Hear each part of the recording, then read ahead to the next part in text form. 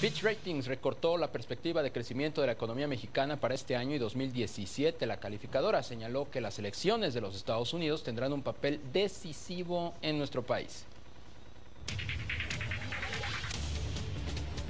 La calificadora Fitch Ratings ajustó a la baja sus pronósticos de crecimiento de México en 2016 y 2017. Se trata del segundo anuncio de recortes en las expectativas de crecimiento para México que se divulga esta semana, luego de que el Fondo Monetario Internacional proyectara una menor alza del Producto Interno Bruto del país al reducir su cálculo a 2.1% desde 2.5% previo.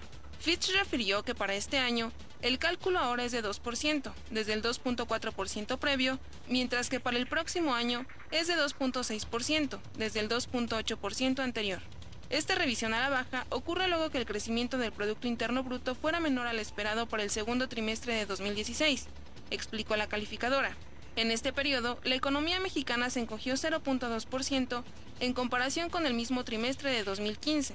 Además, Fitch señaló que los prospectos de crecimiento para México podrían sufrir todavía más si Estados Unidos toma una estrategia más proteccionista después de las elecciones.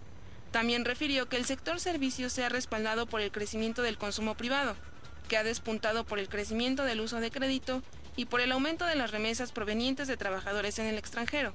En cuanto a las tasas de interés, la calificadora anticipó nuevos aumentos el próximo año.